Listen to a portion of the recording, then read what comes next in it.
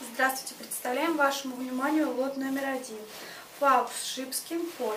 Страна Франция, сезон зима, вес мешка 10,2, дубленки.